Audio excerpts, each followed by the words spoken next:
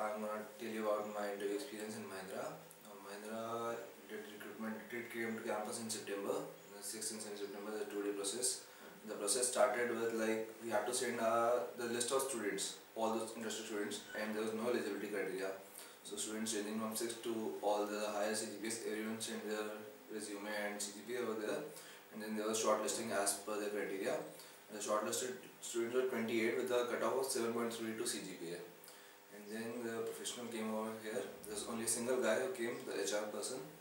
The process was divided into two, three steps. The first step was an aptitude test. The aptitude test was basically conducted by CoQ, the test engine. And main technique used for doing that test was don't start from the beginning. Because mostly the big questions or the paragraph questions were there in the beginning. So what we did, students did was try attempting from the bottom side and out of 28 students, 2 got eliminated in that test and 26 students moved further to the second order test, that was a technical test. In technical test, what was done, there were questions from all over the field, not just automobile, from material science and structural materials, comdom, everything was included over there. And after that, 16 students were more, ah, 16 students were taken to the final round, to the next round of bingo. Bingo was a new concept brought up by Mahindra this year. It wasn't exactly a GD round. In that round, we were supposed to tell if Mahindra has to recruit anyone except for us, then who should that person be? So in that thing, the main thing, main focus was kept that the, you don't have to utter your friend's name because if you are uttering your friend's name, telling that your friend should be selected, then the reason you are giving should match with the reason that your friend has put up in the CV he has presented. So everything was kept.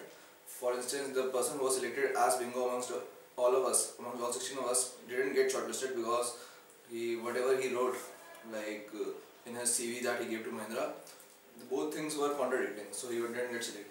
And luckily, I got selected from there. Six students got selected from there for the final interview, which was scheduled to happen next day.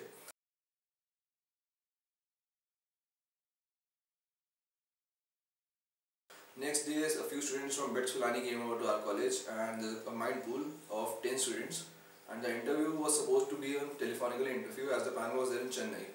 So it was a webcam and telephonic interview. Uh, before my interview started, I was getting to know that there was core technical interview has been taken from the students. Questions were being asked from materials, basically iron carbon diagram. And I tried studying that before the interview. But when I went for the interview, my interview was absolutely uh, HR interview. They didn't ask me too much about this thing.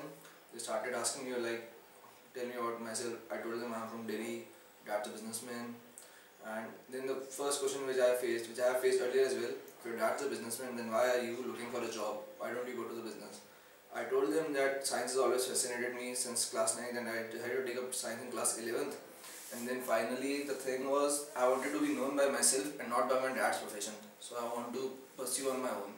Okay, then within my introduction I told him that I am the student placement coordinator. So he asked me what did you learn from the student placement coordinator.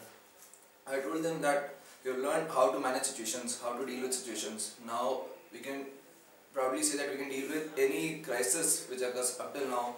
We have handled company with 400 students and with the infrastructure that our college has, we managed to pull that off and even today, we that day we had our exam. I told them that my exam is going right now and within 15 minutes I just got that said that I am not, I won't give my exam and I can be here and I did that so we know if we have to do something, we'll do it somehow. We'll try to do it somehow, get our best shot. Okay, then there was thing about my football. I used to play football in the campus. So he asked me what did you learn on the field. Then there was normal answers that we went to football. The basic important thing that we learned was that you don't have to be from same place. You just have to cooperate, teamwork and everything that came up. And from there the topic shifted to Apple Samsung. Earlier I was being the Apple person. I decided कि what जो भी Apple ने कहा है सही है and Samsung ने जो किया रेपटेशन था, ये था। तो पाँच दस मिनट चला but then the company professional what date the said now you are Samsung and we are Apple think of that way कि अब क्या हो गया? अब तुम्हें अपनी बढ़ाई करनी हो, अपने डिफेंस में कुछ कहना तुम क्या कहोगे? Then I thought some time and then I said yes what I date was wrong but now basically the American market every one knows that this brand called Samsung is capable of producing products like Apple and that is why I'm so much in the market so it went on like this we had healthy discussion there were three people from their side questioning one after the other and it went on for about 10 minutes. And finally, the thing that happened, they asked me first thing that if you were, you have asked us that you will be looking for R&D department, and if we will give you marketing department, will you be take it? I told them that uh, if you give me R&D department, electrical vehicles, which is my interest, I'll surely take that. But any other department, I would prefer marketing more than that. Then they said thank you and asked me if I had any questions. And I myself asked that according to this interview, if I get selected, then which will be my department so they told me if you get selected, the department will depend on whenever you join. Mostly you will be given marketing department. They said that, but they didn't confirm anything. They said when you join, we'll see and give you. And then they said nice talking to you, and it was all over.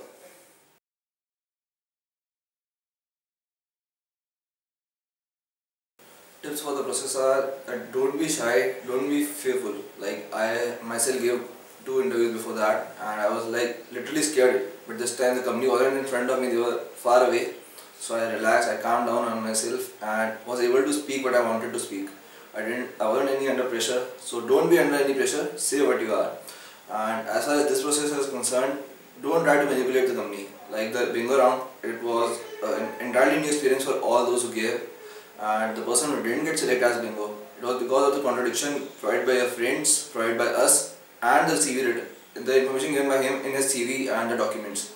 So just don't try to be manipulative, be what you are and you'll be able to make it. Thank you.